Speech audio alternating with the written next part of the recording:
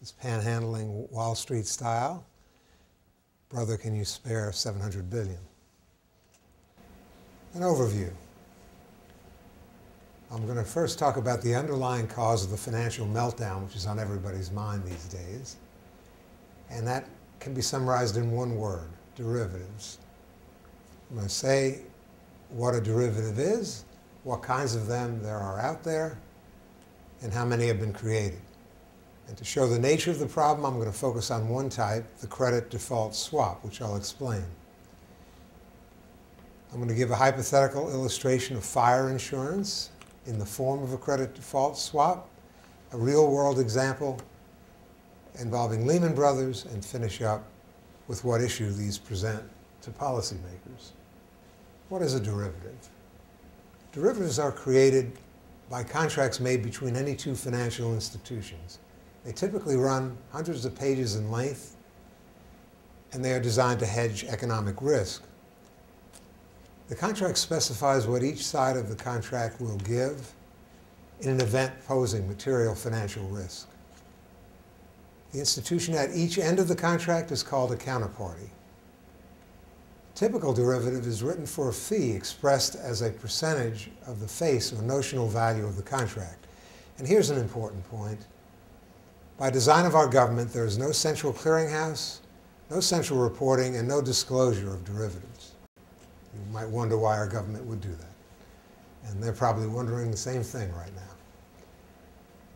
Derivatives come in various categories. There are derivatives written on mortgage securities, credit default swaps, currency swaps, interest rate swaps, equity swaps, and derivatives on derivatives. For example, collateralized debt obligations or collateralized debt obligations squared, a derivative of the first. By the best reckoning we can come up with, since it's voluntary to disclose this, there are about a thousand trillion dollars worth of these derivatives in the market worldwide right now. That's a fantastical number. And this is double the value they represented in 2007. By comparison, the enti entire gross domestic product of the world is only 60 trillion. The US residential real estate market is 23 trillion. All US stock markets are 15 trillion. And all world stock markets have a value of 50 trillion. So a thousand trillion or a quadrillion is quite a number. Now it's true, this fantastic amount is notional, and its real economic effect would be far less once all deals are netted out. But in order for there not to be a problem, counterparties have to survive. And we see that counterparties are blowing up every day. So if only 1% default rate occurred on these contracts, that would leave the other end of the contract exposed to $10 trillion worth of economic risk. Now this chart shows liquidity in the world.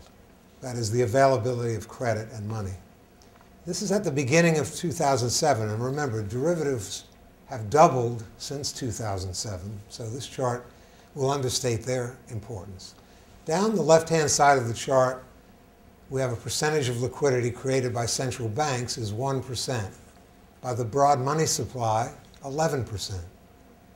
By securitized debt, 13%. And derivatives account for 75% of the world's liquidity, which is why when derivatives seized up, as they have recently, we have a credit crunch. And as I said, that chart was at the beginning of 07. So if they're 75% at the beginning of 07, they're probably 90% now, derivatives, as a percentage of world liquidity. To illustrate the potentially devastating financial consequences of derivatives, I'm going to focus on one form of them called a credit default swap. There were 55 trillion of these at the end of 2008. A credit default swap is insurance, but unlike ordinary insurance, the issuer is not, issuer is not regulated like an insurance company would be.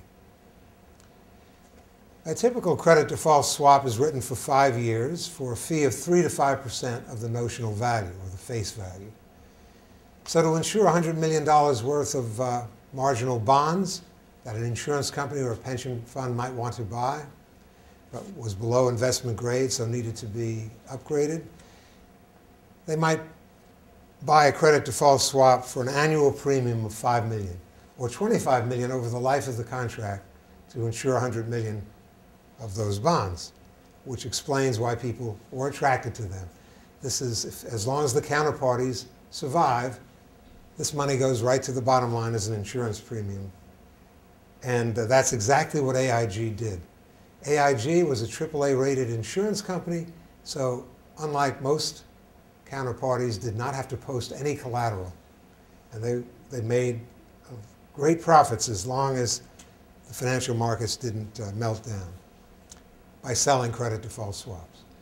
Now, this term was chosen specifically because it doesn't include the word insurance, and that enables the institutions who wrote them to avoid insurance regulation.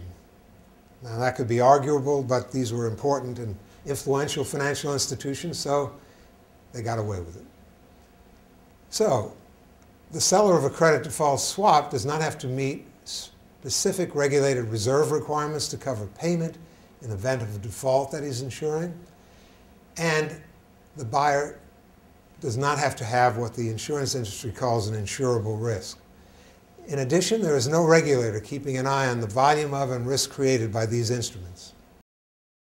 Compounding the risk, investors buy credit default swaps from highly leveraged hedge funds or investment banks with enormous leverage ratios of 30 or 40 to 1. That means there's 30 units of debt for every unit of equity. That means the sellers have very little in the way of equity to cover the risks they are insuring. Now remember, the Great Depression was caused by margin in the stock market at 10 to 1 leverage. And we're three, four, five times higher than that with credit default swaps. When Bear Stearns and Lehman Brothers failed, they roiled the financial markets because of the credit default swaps they had outstanding that then exposed the other end of those insurance policies, so to speak, to uncovered economic risk